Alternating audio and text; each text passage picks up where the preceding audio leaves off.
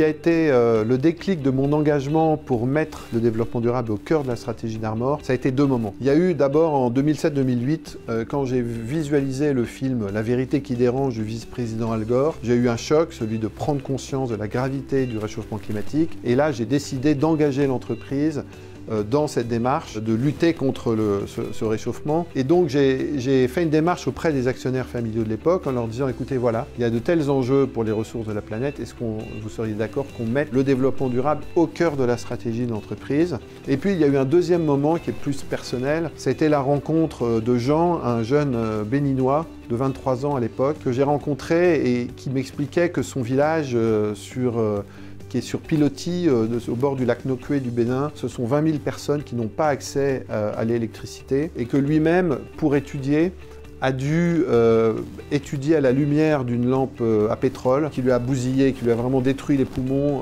ainsi que la plupart des enfants de son village. Ça m'a vraiment, voilà, ça m'a, ça m'a heurté, ça m'a attristé. Je me suis dit, mais il n'est pas possible que ce genre de choses continue. C'est là où j'ai décidé d'entraîner le groupe, notamment dans la réinvention des panneaux solaires classique sous forme de film photovoltaïque. Le but c'est l'écologie, mais c'est aussi plus de justice, notamment pour l'éducation des personnes qui n'ont pas accès à l'électricité.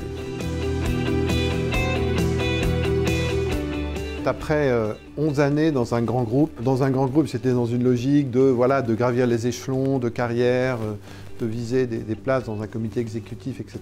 Et en venant chez Armor, et notamment en m'engageant dans, dans cette perspective de développement durable, je me suis senti invité beaucoup plus à développer une, logique de l'être, de management par la confiance, de contribuer à, rendre le monde meilleur, plus que de viser simplement à la maximisation du profit, même si le profit bien sûr est utile pour développer nos projets. effectivement, j'ai renoncé à cette carrière des grands groupes, mais finalement pour quelque chose qui me rend beaucoup plus heureux, c'est euh, de pouvoir vivre cette unité entre mes convictions et mon action, et de façon pérenne dans la durée avec une équipe formidable. On est engagé ensemble dans un projet, et ça, ça vaut plus que tout.